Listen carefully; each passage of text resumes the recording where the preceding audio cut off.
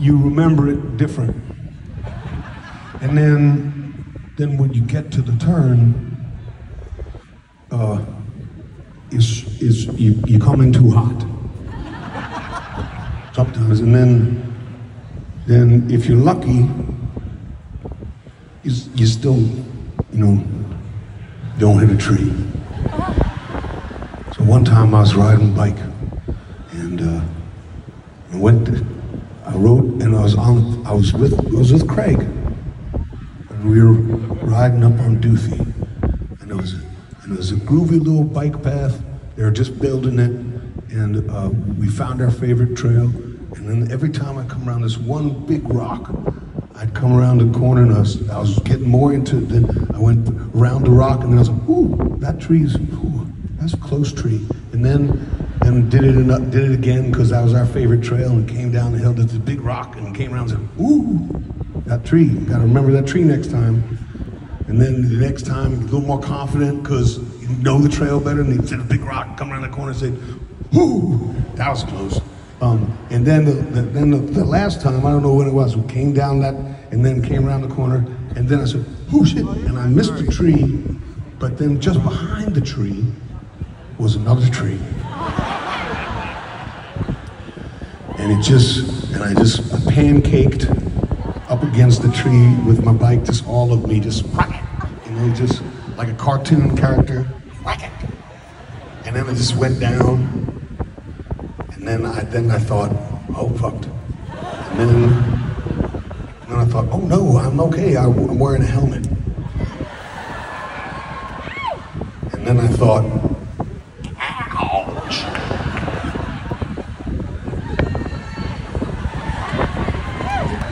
That, that, was, that, that, that story was so hectic that Tim had to sit down.